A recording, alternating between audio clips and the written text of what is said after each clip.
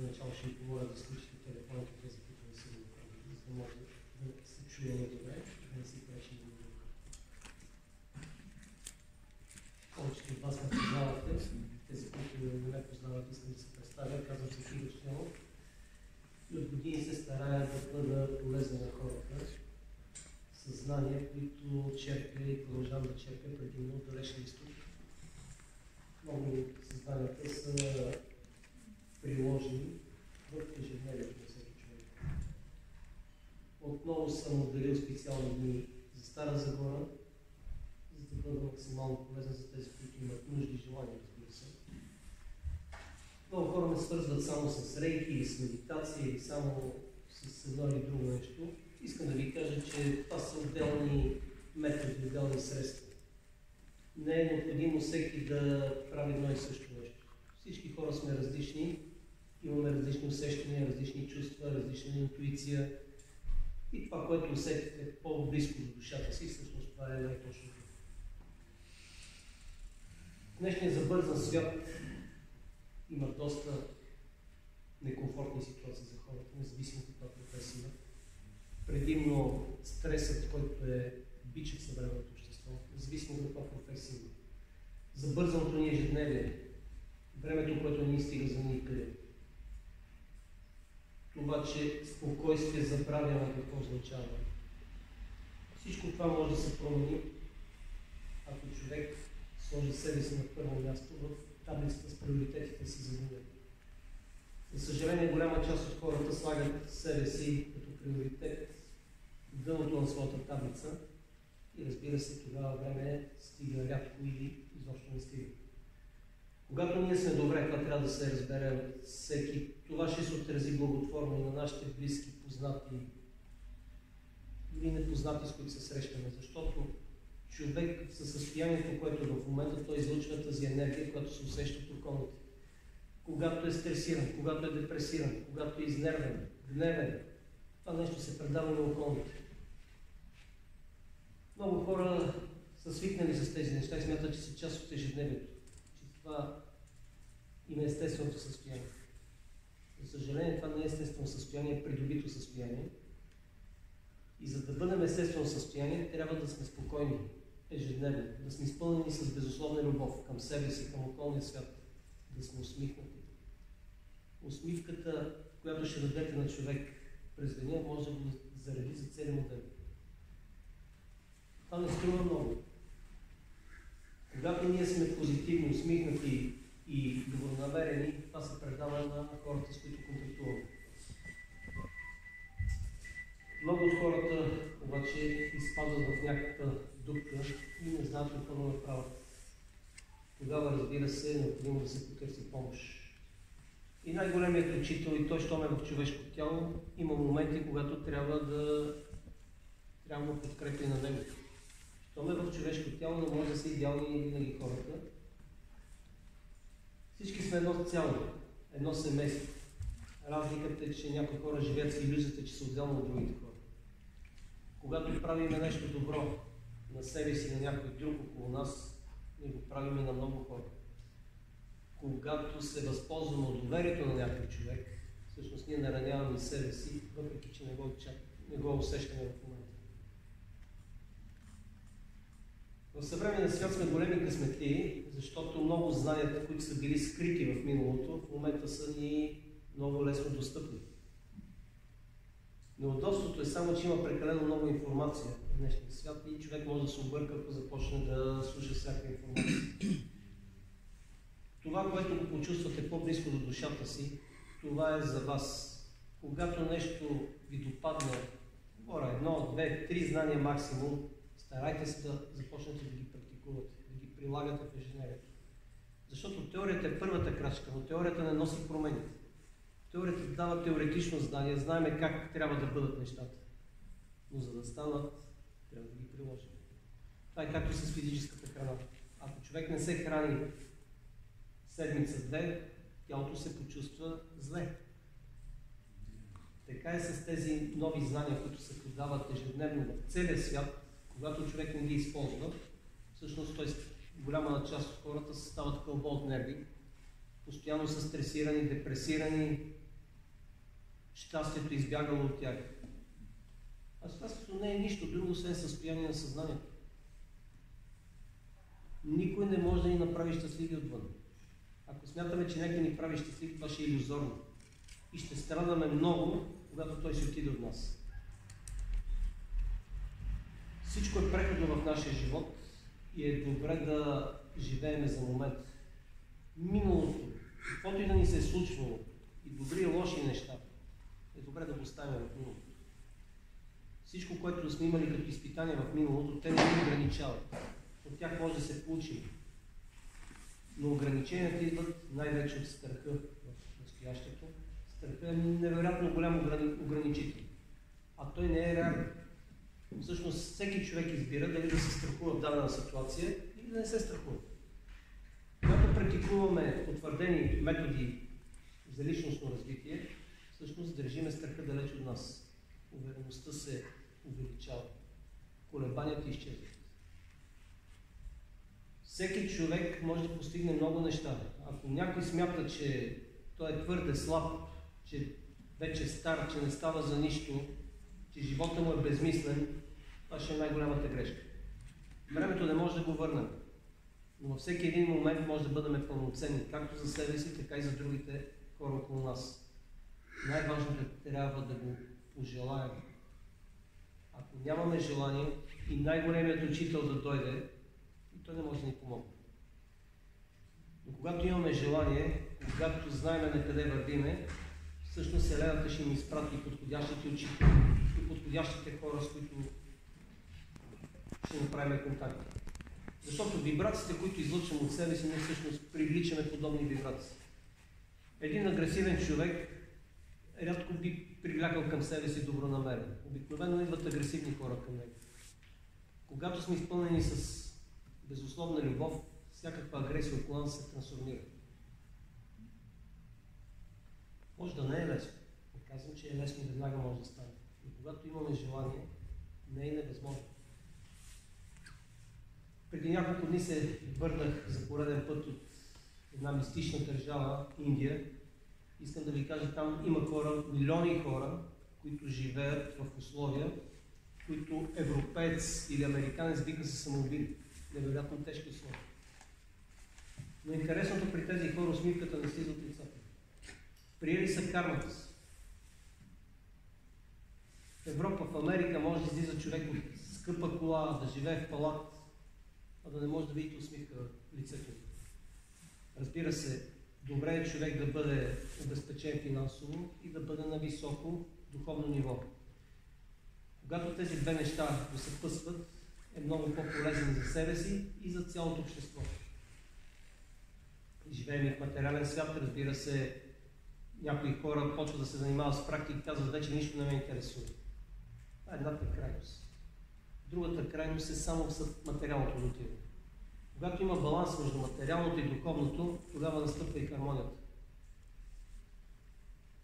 Не е необходимо да следваме сляпо нито е един учител. Вземете от най-известните учители това, което ви е по-близко до душата. Но което не го чувствате близко, не е необходимо да го взимате. Няма нищо задължително в нашия живот и не е необходимо да правим нещо като задължение. Добре да осъзнаем нещата, които ни носят полза, всъщност да ги използваме като нещо осъзнато, което ни носи полза и хармония. Правим ли нещо на сила, не носи, не носи дълготрайни резултати. Разбира се, всеки човек е на различно ниво на съзнание. Един има интерес към едно в настоящето, друг има към друго. Но рано или късно вибрациите се изравняват, когато човек иска да ги постигне, разбира се. В момента стават огромни промени, както в България, така и в целия свят, както на физическо, така и на енергийно ниво. Няма човек, който да не чувства, че нещо става. Много от хората не знаят какво става, просто знаят, че има някакви промени. Едни от големите промени са, че вибрациите се вдигат както на Земята, така и към цял, на цялата природа около нас. И когато човек не дигне своите вибрации, когато живее с старите виждания, стереотипи, то не се чувства комфортно. Започва да боледува, започва да се изнервя, започва да му се губи съня. започва да изпада в някакви придобити, придобити състояния. Затова обаче в природата има на всяко действие противодействие. Когато нещо не върви, трябва да го променим. Но промяната ще дойде от нас. Няма как от, отвън да дойде към нас. Отвън може да дойде някакво знание. То, то е средство. От нас зависи дали ще го използваме това средство или не. Разбира се, не е необходимо с часове да отделяте време. Половин час, да речем, на ден, каквото и да правите, е само за вас.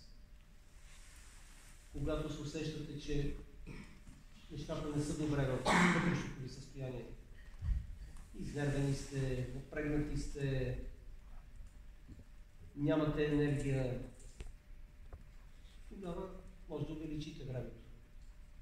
Когато се чувствате добре, просто го правете. Пак го правете, но в по-малък интервал от време. Знам, че сте чували много лекции в интернет и на живо. Много учители идват и ви говорят почти ни същи неща. Затова не искам да се повтарям. По принцип съм практичен човек и искам, когато предавам нещо, всъщност да има реална полза. Не е просто хората да си кажат, това е вярно, това е много хубаво, но до там. Следващите два дни ще съм в Стара Загора, за да предам знания, които някои от вас биха искали да освоят. Първото е едно от знанията, които преподавам, това е системата Рейки. Особено първо ниво е право на абсолютно всеки човек. Това е енергийна система, която действа едновременно и на физическо, и на емоционално, и на ментално, и на духовно ниво. Хора, които работят с рейки, има методики на новото време, методики като методът Space, например, като метода Angel. Това са също енергийни методи, но за разлика от рейки, която е върната на човечеството, тя е съществувала преди години, тези методи са предадени на съвременното общество. За хора, които са в стресови депресивни състояния.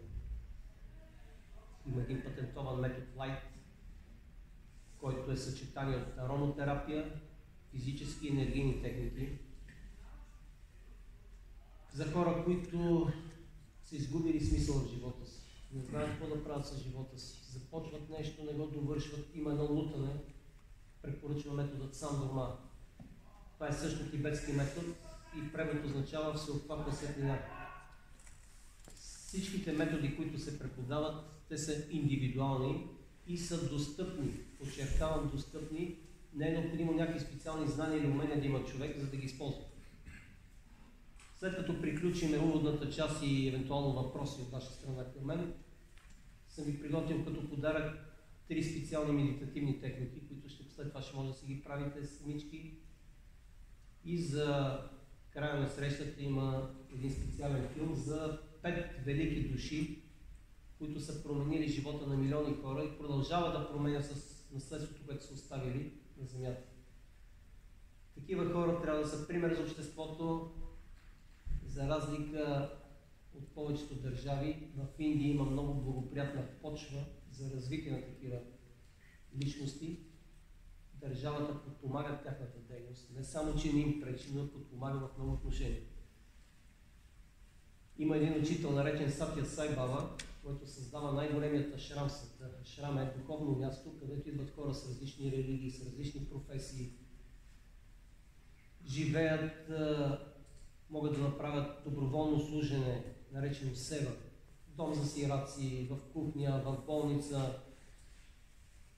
Там, например, за сигурността се грижи държавна полиция, не частна охрана, както при повечето ашрами в Индия държавна полиция, която е платена от държавата. Поне един-два пъти годишни идват държавни ръководители на това място. Разбира се, там е малко по-различно е мисленето, но природните закони действат еднакво силно, както за тези, които ги знаят, така и за тези, които не ги знаят. Имах много интересен случай в предпоследното пътуване с едно семейство, беше дошло с групата в Индия мъжът особено не е отворен към нищо. Заради жена си дошъл, защото жена му практикува нещо, да е приближава. Всеки се докосва до нещо, което е важно за него. Те си купуват някакъв скъп сувенир. От обикновена Сергия. Индия са повечето Сергии, има и магазини, но са повече Сергии. Като търговецът казва 1200 струва, той разбира 12 000 и започва да му бори 12 000. Търговецът му казва, ти какво правиш? Казах ти 1200. Той се извинява мъжа, че не е разбрал, но в същото време е много очуден. Казва, добре, ти защо не ми ги за тези пари? Аз ти ги давам. Казва, повечето хора в Индия няма да ти ги вземат, защото правят лоша карма. Там съм много наясно с законите на кармата, че когато нещо направиш на друг, който не му носи добро, всъщност след това трябва и да го платиш. В Индия министър-председател, въпреки че Индия може да си позволи последен модел Мерцедес да води министър-председателя, се вози в една кола местно производство, наречена Татла, просто е боядиса на бял свят. Това е десетки пъти по-ефтино от цената на Мерцедес. Защото там се знае, че много хора, милиони хора нямат дом, живеят на улиците. Няма как да си позволят ръководителите подобни демонстрации. Разбира се, там има светлия примери на Махатма Ганди, един министър-председател, който ако бяха такива, поне половината свят, живота на Земята ще, да бъде съвсем различен. Нямаше да има войни в 21 век. Някои народи да изхвърлят тонове храни, а на други места да умират от глад. Всичко е въпрос на съзнание. Всеки човек, който е, той не може да промени целия свят, но може да промени себе си, да промени света около себе си. Това няма да е никак малко. На един човек да помогнете да промени съдбата си, това ще е голям плюс и за вас. Но за да може да променяме, да помагаме на другите хора, нали разбирате, че първо трябва собственото състояние да променим.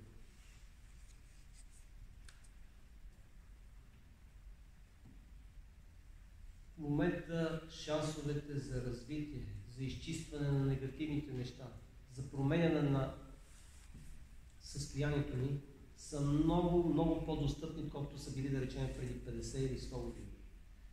В момента има достатъчно информация, може да си намерите учител както онлайн, така и на живо. Въпросът е, че трябва да, каквото и да, да получите, трябва да го използвате. По някой път се промъква тихичко мързало във всеки човек, особено когато се чувстваме добре и не го правим. Хубавото е, както хората, които обичат кафе, пият си кафенството сутрин, така поне 20 минути, половин час да отделите за себе си сутринта. Когато вие сте на първо място в приоритетната си таблица, винаги ще имате време и винаги ще сте заредени, жизнени пример за всичките около вас. Не е необходимо да се носиме по обществената вълна, когато почва да се оплакват хора. Как съм се върнал от няколко дни, 90% от хората, които срещам, се оплакват от нещо. Повечето от хората имат собствено жилище, имат работа, имат семейство. Но винаги ще има някакъв проблем или някакво изпитание. Страданието не идва от това, което ни се случва. Страданието идва от нашата реакция към него.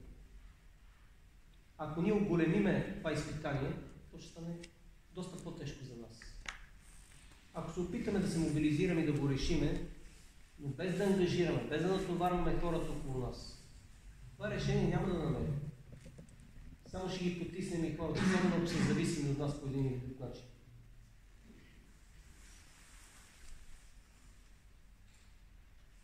Дошъл съм в Стара Загора малко или повече да бъда от полза за тези, които биха искали да променят нещо. Сега, ако всичко е окей в живота ви, естествено си няма нужда от промяна. Но ако нещо не върви, винаги може да, да направите максимум от вас. Сега, това е постоянен процес. Това, че веднъж се чувстваме добре, не означава, че постоянно ще сме в тази форма. Всичко е до захранване, както се казва. Накратко ви споменах с нещата, с които могат да се ви полезят, включително има един метод, наречен на регресия. Регресия някои са чували, някои може би за първи път ще чуят. Регресия е по принцип връщане в минало живот, работа с духовния водач, но живот, който има отношение към настоящето. За регрес е препоръчително за хора, които имат някакви фобии от вода, от височина, от тесни помещения, без да са имали някакви преживявания в този живот. Това е 100% някакво преживяване от минал живот. А клетките те помнят редица живота назад. Когато нещата се повтарят в нашия живот, без никаква логика, свършват едно и също место. Било взаимоотношения, било работа, било нещо друго, по един и същи начин завършват. Също е препоръчително да се направи регресия. Тези хора, които искат по-подробно да се запознаят с моята дейност, имате визитни картички, може в сайта да влезете, в Facebook профила ми, повече от 20 години само с това се занимавам. Телефона ми не е променен от тогава. С каквото мога ще съдейства на всеки, който иска обаче, който има желание. Не трябва човек да разчита, че дори при най-големия гуру ще дойде и той ще му промени живота, а самият човек няма да прави нищо. Няма как да стане промяна. По-лесно е, разбира се, някой друг да ни работи. Има много хора, например, с пари, които смятат, че отидат при лечител, при масажист, при лекар, ще му платят една турба пари, той ще ги излекува и дори да им въздейства. Това нещо ще ги държи, да рече, месец, два, година. Но той, ако не промени начина на живот, мисленето, всъщност нещата ще се върнат. Учителят, който връща рейки на хората, японски учител Микао Суи, е бил много очарован, че е придобил това знание и решава да го дава безплатно на хората, защото той го бил получил безплатно. Това било неговото мислене, защото той отделя 10 години, оставяйки своето семейство, докато търси тези знания в Индия, в Тибет. Започва да помага от най-бедните, от просеците, които нямат пари. Много от тях се възстановяват но вместо да си намерят почтена работа, се връщат към просията. Съответно, с време започват да се връщат и заболяванията. В един момент тези просици започват да говорят, че в центъра на Микало Суи нищо не се помага. Това е била една голяма сигнална лампа за учителя. И тогава разбира, че помощ се дава само и единствено, когато се поиска. Човека може да има крещяща нужда. Ако той не, не иска помощта, няма смисъл на сила да се дава. На сила нищо не може да даде. Всеки избира как да живее своя живот и си носи отговорност за този. Но най-малкото, не се чувствате добре, ако не сте в хармония, ако искате нещо по-различно се случи, трябва да дойде от вас. Когато вие знаете какво искате да направите, тогава Вселената ще ви изпрати подходящия човек, подходящия учител, подходящата ситуация, за да го направите. Ако се лутаме, обаче живота минава също като миг. Така ще бъде. Много хора, например, живеят заради децата си, после заради внуците си. Казват, като се пенсионираме, ще поживеем тогава. Ако човека не е живял на млади години, няма да живее на когато се пенсионира. Живота е това, което се случва в момента. Не което ще стане. Това, което е било. Това, което е било в миналото, то е минало. То не може да се върне. Утрешният ден е загадка. Никой не знае какво ще се случи. Живота е това, което се случва в момента. Всеки момент е уникален. Срещата в момента ни е уникална, защото може да има пак други срещи, но хората ще са различни темата ще е различна. Всеки момент е уникален, затова му давайте нужното внимание и любовта си. Не се обиждайте често. Това е едно от много често срещано явление. Никой не може да ви обиди, ако вие не го разрешите. Когато човек дига нивото на съзнание, едно от предимствата е, че започва да не приема лично нещата. Вие може да правите само добрини, пак може да се намери някой човек, който да каже нещо срещу вас. Хората са на различни нива. Много хора, например, излагат само егото си, че са най-най-най-най-най. А всеки човек има божествена сила. Дори човек, който е притеснителен, който се губиме в колектива. В една критична ситуация то може да реагира най-адекватно всички. дори тези, които са уж лидери. Всички имаме еднаква божествена искра в себе си. Просто всеки човек избира как да изрази. Учили сме в миналото да бъдем скромни. Ама вие ако искате нещо да изразите, няма как да сте скромни. Ако нещо трябва да се покаже пред хората. Покажете го. Някой ще го хареса, друг няма да го хареса. Но изявете себе си. Често ми се случва да се срещна с хора, които буквално ще отиват до дни с тежки заболявания. Да разведа обстановката, да го питам, какво би направил, ако в момента си здрав? Голяма част от тях ми казват, бих изживял живота си според моите чувства и усещания, а не според очакванията на моите близки познати. Бих си позволил да бъда щастлив. Не е необходимо да стигаме до такъв момент, за да разберем, за да променим ценностната система.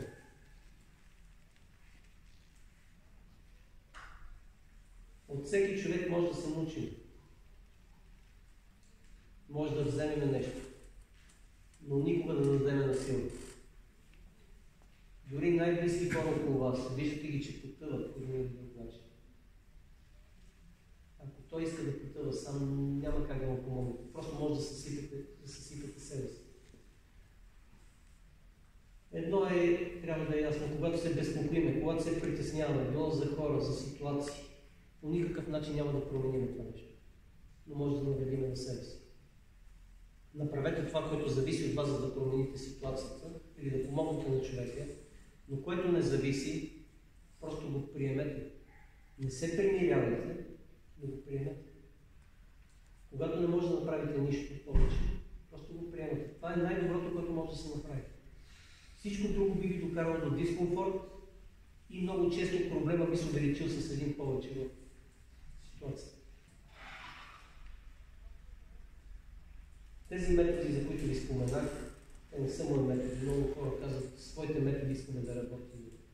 Аз ги преподавам само. Това са методи, които се преподават десетки държави, хиляди учители.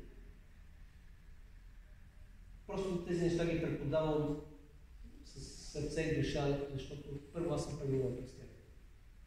Ако не съм усетил резултатите, няма как да се изправя пред вас и да ви говоря за неща, които не съм 100% сигурен.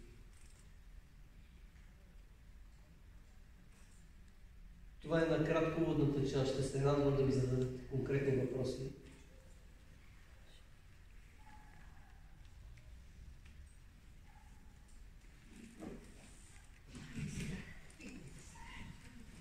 Питайте, не се притеснявайте. Други вариант, ако някой иска лична консултация, ще си запише час после при маги.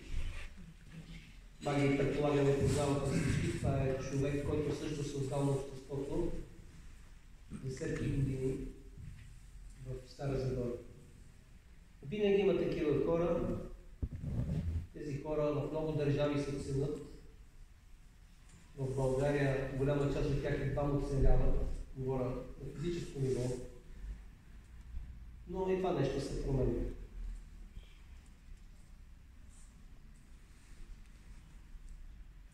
Според вас рейки метода защо е по-добър от другите енергийни методи на майстър Чой и така нататък и по-работещ? И вторият ми въпрос, регресията е ясно, за прогресията няколко думи може ли да се освои за поработи за... За първия въпрос ще отговоря. Не съм казал, че Рейки е по-добрия метод от всички. Са мои думи. Рейки е един от методите, които помагат. За някой може да е най-добрия, за друг може дори да няма никакъв интерес. Рейки е един от най-достъпните, защото не трябва да има човек специални знания или умения, а дава добри резултати. Защото при много методи трябва по-дълго обучение и може да има обратен ефект, ако не се направи както трябва. При рейки няма и теоретичен риск за това нещо. А за регресия също, освен процедура като регресия, има възможност за обучение човек да прави регресии на други хора. Прогресията, лично аз не съм фен, не че е нещо лошо, прогресията дава дадена ситуация на човек, която ще е в бъдеще. Но ситуацията може да се промени. С всяка една мисъл, с всяка една дума, с всяка едно наше действие ние променяме кармата си. Прогресията не може да даде 100%. Докато регресията, това нещо се случва. Въпреки, че има много учители, които се занимават с прогресия. Въпрос на усещане. Аз лично не го чувствам, защото не дава 100% гаранция. Когато не съм сигурен в нещо, просто не го, не го предполагам. Други въпроси? Питам, много пъти си ходя в Индия и в Тибет, имах някаква опит с тази вече. Но чувствате ли се, че ти направо, да кажем, постигнал състояние, как може да го изрази? Духовно практика. Благодаря, благодаря за този въпрос. Това е много относително. Има една мъдрост, която казва, дори човек да отиде на най-свещената планина, ще намери тази мъдрост там, която е донесъл със себе си. Просветлението не е някаква дестинация. Просветлението идва от, от начин на живот, който води. Всеки един човек има момент на просветление. Значи всеки един човек има ситуация, където разбира точния отговор, дори без да се занимава с нищо. Въпросът е дали ще се слуша в това просветление, защото то става за секунди. Ако имате предвид от тези мъдреци, които с години медитират пещери, които са между духовния и физическия свят, няма как да си позволи съвременният човек това нещо. А и такива мъдреци на физическо ниво не достигат до масово до хората. Хората имат в момента нужда от учители, които са сред тях. Учители, които имат, е, може да има и друга работа, освен да преподава, да има нормално семейство. Това са, това са учители. Но в такива моменти на просветление, ако имате предвид, и аз съм имал, както и много други хора. Старая се да се слушам в тях, защото ако го пропуснем, започва да работи ума а ума е ограничен. Той търси логика. Но много от нещата в живота нямат никаква логика, но никога не са случайни. Благодаря за това въпрос. Други въпроси? А, просветлението, а, както при моя случай на 35-дневната кома, получихме просветление и си говорим с Това е, Там това е как не се чува. Моето посветление, нали, както бях 35 дни на кома и първата, може би, една година си говорих с хората от другия свят, аз така им казвам, с починали вече, които не са вече между нас. Може ли да, да се някакси да, защото аз сега не помня много нещата, които съм говорил в началото и майка ми нали, е записвала една тетрадка всичко. А, Как мога да направя връзката отново да се доближат до тази... Там уж до дълбочина. Да. Ти за този въпрос. Връзката се определя от по-високо място. Това е, че на тебе ти се дава този шанс, защото в тази ситуация са единици хора, които се радват. Това, което си бил решил да правиш преди случката, всъщност не е било много подготвено. И си показа, ето както виждаш с нея, имаш съвсем други идеи, съвсем друго виждане. Да. Духовният свят се проявява на физическо ниво, когато самият човек има нужда или когато трябва да получи информация. Не трябва да се стремим целенасочено към, към него. Просто трябва да следваме интуицията си. Едно от предимствата, когато работим с подобни методи, именно, че разбираме нашата интуиция. Слушаме ли интуицията, никога няма да сбъркаме. Може 10 човека да ни казват едно, но ако интуицията ни подскаже друго, това е най-точно. А, Момчето ме посети тук, че е бил в кола дълго време. Хора, когато губят близък човек, много от тях изпадат в невероятно дълбока депресия, особено скъп човек. Имайте предвид, това е немислимо, ако искаме да се възстановим. Но то се случва на всеки човек. Няма човек, който да не изгуби от даден момент близък човек. ние нямаме психическата подготовка. Това е едно от минусите на съвременното обучение, защото ни учат как да правиме кариера, как да просперираме на физическо ниво. Но никой не ни учи как да, сме в, как да реагираме в критична ситуация, как да бъдем щастливи. Има един метод, ако от вас или я ваши близки в Стара Загора имат нужда, метода се нарича среща с близък човек от духовния свят. Хора, които са изгубили близък човек и не са се възстановили тази загуба, е добре да преминат такава процедура. При тази среща, среща с учителя посредник и се срещате с близкия човек. Правите диалог с помощта на учителя. Но вие го правите лично. Защото в Америка, например, правят медиуми, хора, които имат а, такава карта да общуват с духовния свят.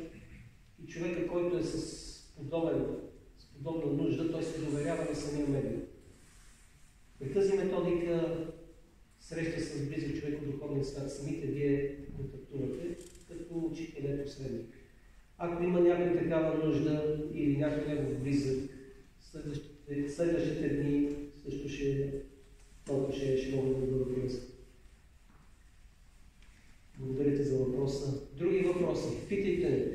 Питайте, не жалете. Всеки има някакви вътрешни въпроси. Хората, които са събрали на подобна лекция, общо взето сте, имате еднакви търсения.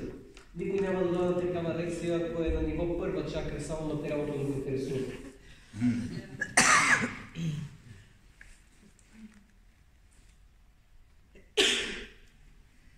Добре, аз така може да попитам.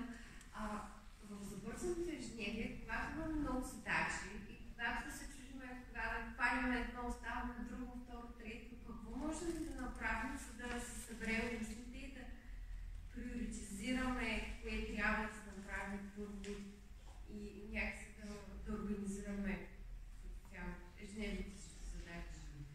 Това зависи от самия човек. Това, което аз препоръчвам, самия човек да е първо място в приоритет. Малко егоистично може да звучи, но дори децата са на втори, на втори план. Когато родителят е в добра форма, той ще е по-полезен за децата си. Ако се раздаваме само за децата, самите ние имаме нужда от подкрепа, това ще се отрази пак на момента. Не трябва да пренабиваме пружината в себе си, докато се скъса. Има така доста грешно възпитание в момента в нашето общество. В България специално. Използвам в София много често метрото и там съм свидетел как стъпват място на възрастна жена с малко дете, малко дете, първи, втори клас. Вместо жената да седне, бабата, тя слага внучето, в същото време тя държи тежката раница и него. По мое време поне това ни учиха добре, че първи, втори клас отстъпвахме на възрастни хора, сега нещо се обърка тази възпитателна система. И хората го приемат, приемат го нормално. Най-малкото това дете става това дете, когато се справи самичко в живота, то ще има много трудно да превъзмогне изпитанието. По-добре е няколко пъти да падне детето, да се справи само и да продължи. За възпитанието най-добри резултати дава тибетското възпитание. Има го и в интернет, има го и в много книги. Тибетското възпитание гласи до 5 години с детето се отнасяме като с цар. Каквото и да поиска, услугата. От 5 до 10 години като със срок. Тогава родителя налага своите ценности, то силно му предава нещата, които смята, че са добри. От 10 години нагоре като равноправно. Ако тогава си позволи лукса родителя да, да му налага свои ценности, рискува да отдалечи детето от себе си. Тези хора, доказвам като процент, стават най-отговорни, най-зрели и най-полезни както за семейството, което създава, така и за обществото като цяло. А тези, които са изпуснали, например, тази възраст своите деца, има три основни неща тогава да се нахранят децата, да се изучат и последното най-важното да се пуснат. Да се пуснат. Дори да имате финансова възможност да го дозуркате, не е препоръчително. За самото дете не е препоръчително. Други въпроси? Заповядайте. Аз искам да питам, а дали има някакъв метод, който да ни помогне бъдем първо полезни на себе си, след това на другите. Да не мислим първо за другите, а да слагаме себе си на последно място. Ами, Всичките методи, които ги изборих, те са за личностно развитие предимно и след това са за по-добро здравословно състояние.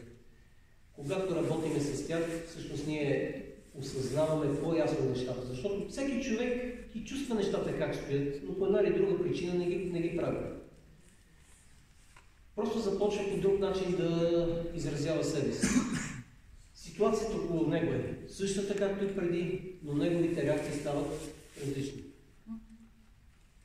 Ако с нищо не сте се занимавали до сега, искате да започнете, пак препоръчвам, поне първо ниво рейд. Една от най-достъпните ефикасни методики, която не ви трябва нито знания, нито умения. Най-добре си намерите началото учител, защото има, прави се инициация в началото на обучението. Инициация се предават сакрални знания, всъщност отварят енергийните канали на човека, за да може да използва рейки енергия. Научаваме се енергийна защита, как да си правим още при първа степен. Това помага, например, за хора, които работят с много клиенти, с много пациенти. Чували сте за хора, които теглят енергия, други хора, така речете енергийни вампири, много често дори несъзнателно се теглят, да се предпазват от тях. Това е едно от най-достъпните неща. Другото има медитативни техники, има другите методи, които, които изборих.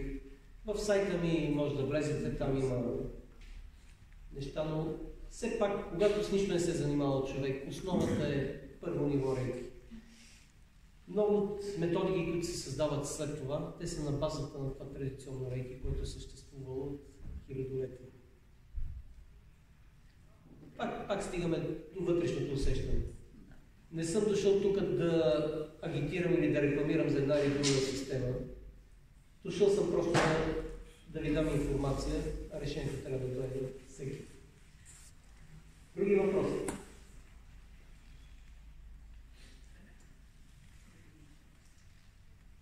А кога раз, разбираме кога трябва да минем към следващото ниво?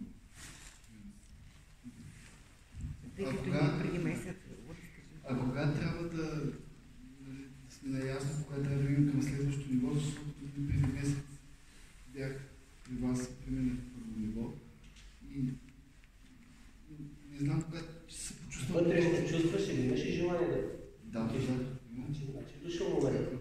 Това е същото, ако някой ме пита, кога трябва да започна да се занимавам с тези неща. Може и никога да не започне човек. Значи имаме свободна воля. Когато имате вътрешно вдъхновение, значи е дошъл момент. Когато имате вдъхновение да направите нещо днес, не го оставяйте за утре или за други ден, образно казано, защото вдъхновението няма да е същото.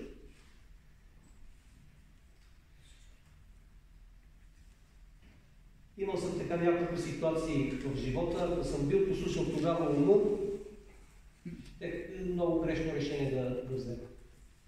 Слушате ли се в интуицията, никога няма да сбъркате. Когато предприемеме някакво действие, всъщност това действие предизвиква и други действия. Когато предприемем някакво бездействие, всъщност ние се застопоряваме. А времето лети еднакво бързо, както и за този, който съзнателно се развива, така и за този, който стои на едно място. Пак казвам, ако нещо трябва да направите днес, не го оставяйте за утре. Аз искам да споделя нещо на аудиторията. Просто вие не каква, колко сте привилегировани за това, че Кирил Стоянов е при вас. Ние бяхме с моя син приятел преди месец взехме първо ниво. Просто не мога да ви опиша каква е разликата след инициацията. Това е нещо, което не може да се навика по никакъв начин, а може да го използвате във всеки един момент, когато имате нужда. Просто благодаря и на Маги Коранова и благодаря и на вас, че сте отделили от, времето си да, да го следя стари да Благодаря ти за мнението. Много хора, които са променили живота си с рейки, са ми казвали, че ако повечето хора знаят за какво става въпрос, опашките за обучение ще са километрични. Но всеки е на различно ниво. Дори тези, които са се докоснали, които сте променили живота си, не дейте да насилвате вашите близки да завършат едно или друго ниво. Ако човека не е готов, той ще се отдалечи от вас. Образно каза на едно 5 годишно дете, ако му говорите за висша математика, то ще, само като го види, ще бяга от вас. То няма да... Той иска да си играе. Трябва да стане студент по математика, тогава вече се заинтригува. И за Индия. Имаше едно момче, което беше в една от групите в Индия, невероятни промени в него, невероятно въодушевление, решил да събере приятели и роднини да направи същото пътуване, което казва на третия ден се разделихме в Индия. А Казвам, му, защо не питаш преди да направиш, за да стигне до тая организация, до това нещо, и аз съм имал по трудния път. Това, което ти си усетил, не е гаранция, че и твоите близки ще го усетят. Индия не е просто друга държава, тя си е друга планета, направо. Друг менталитет има съвсем различно. И казах, да, ма бях ентусиазиран, исках да помогна на тях. И сега помогна ли? И каза, са един от бутовчеите, вече почти две години не си говоря.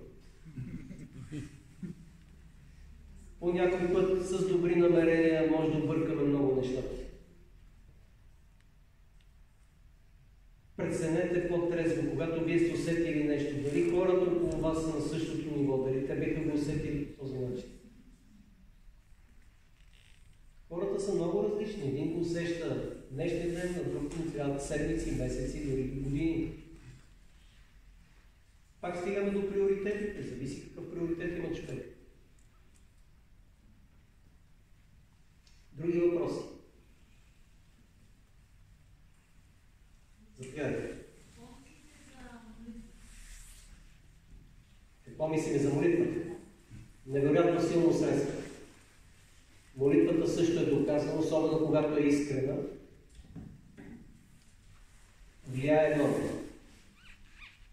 Молитвата може да се съчетава с всичко, и с практики, и с други знания, които имате. Между другото ми напомняте на една притча, ще ви кажа за молитвата, за да подчертая силата й. Един лама в Тибет, като излизал на терасата на своя манастир, виждал, че един възрастен човек прави свещена обиколка около манастира и енергийно го следвала най-голямата богиня в Тибет Тара. Енергийния образ на Тара с него. Той много се заинтригувал и извикал човека да види нали, каква е причината, че го следва богинята. Човек да му казал, че си казва молитвата всеки, всеки ден и затова тя го е следвала си. Ламата бил заинтригуван. Каква е тази молитва, нали? Защото той е лама пък не го следва богинята, този обикновен човек с него ходи. И той като казва с какви думи се моли на нея, ламата се хванал за главата. А това са много прости думи, каза. Как можеш такова нещо? Ще се молиш по този начин и му дал там някакъв словоред. Обаче на другия ден богинята не го човек. На втория ден също, на третия ден също. Тогава той го извика и му казва, моли се както си знаеш. От сърце. И богинята почнала да го следва. Важно да е искрено. Не е важно някакви специални рамкови думи да използвате. Когато се молиме в църква или в джамия или в храм или в каквото и да е, за хората, които сте на по-високо ниво, имайте предвид, не се молете по принцип само за себе си, за близки. Помолете се, подайте му любов на съответния светец или на съответната икона на който се Защото духовният свят също има съзнание, то силно съзнание. И когато изпращаме нещо към тях, те също ще го приемат с благодарност. Защото има природен закон. Когато получаваме, трябва да дадем. Когато даваме, трябва да получим. То е добре за двете страни. Този закон е както в физическия свят, така и в духовния свят. Други въпроси?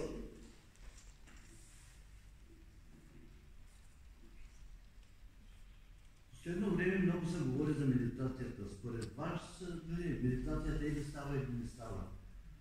Какво е усещането или някакви желания човек да разбере, че наистина медитира и не се Този въпрос често ми го задават. Че за да изпаднете в медитативно състояние, трябва да освобождавате мислите. Ако има мисли в съзнанието, това не е медитация. Може да релаксирате. Съзнанието става чисто. Например, в Индия, когато учители по медитация завършват, там изпитите обикновено са или до много шумен строителен обект, или до магистрала. Той трябва да медитира и да не чуе шума, който е около него. Просто се научете да изчиствате мислите си. В Боно ще ви дам има един метод, медитативен метод, така се нарича в интернет. Ще влезете, това е медитативна техника върху пламъка на свещата. Не ви трябва учител за нея, помага за изчистване на здравни мисли, за контролиране на ума. Нещо, ако трябва да контролирате този живот, това е само единствено вашия ум. В други ситуации не се стремете да контролирате, защото първо имате разход на енергия, второ няма дълготрайна полза. Когато контролираме ума, той винаги ще ни е приятел. Ако не го контролираме, много често може да ни вкарва в филми и тези филми да ги реализираме. Медитацията е малко по-продължително обучение, не е като рейки, също е много полезна. И много хора се занимават с такива неща. В източния свят, например, общото между най-богатите и най-бедните, че един и другия медитират.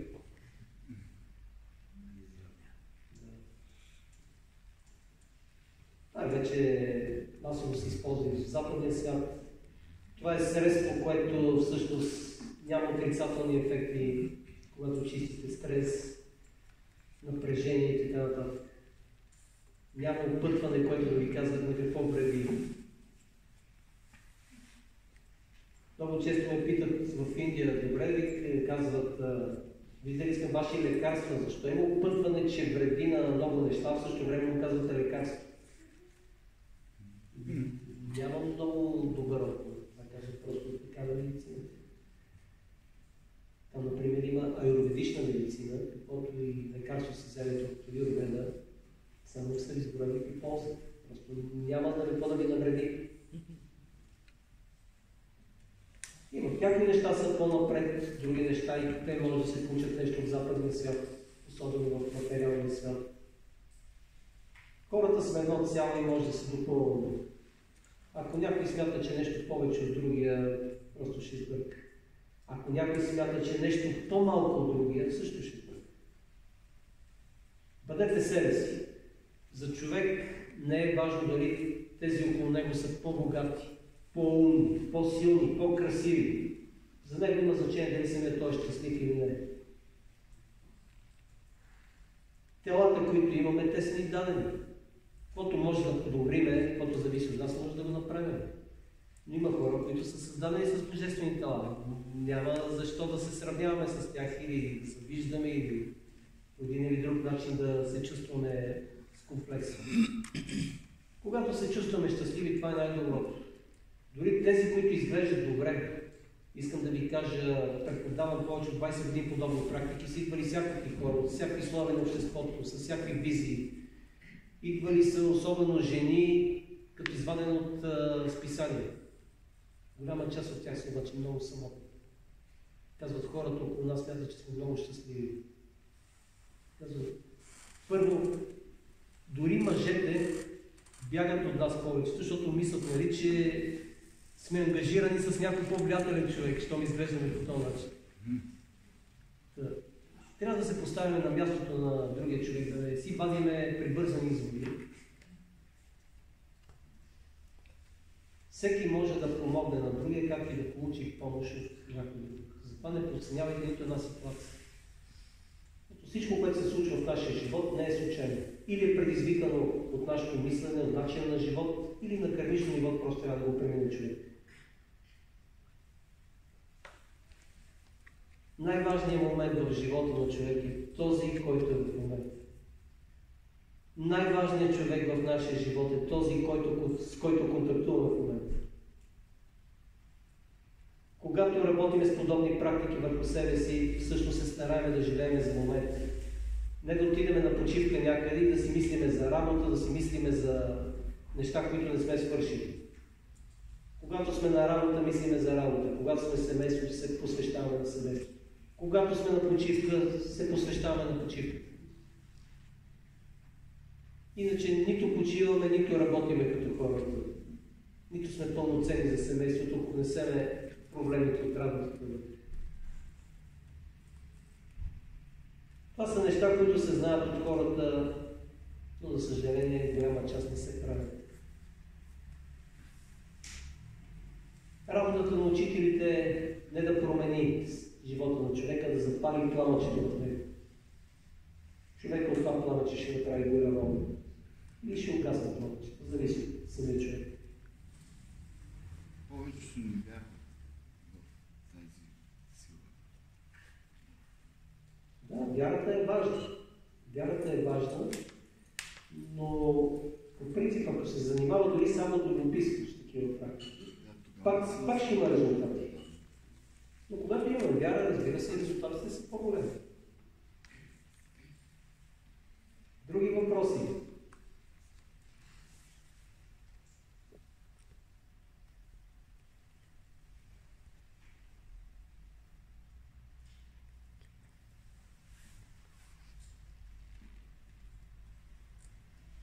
Използвайте времето, защото след малко приключваме и преминаваме към втория и след това третия етап на нашата среща. Заповядайте. Искам да питам какво на рейки.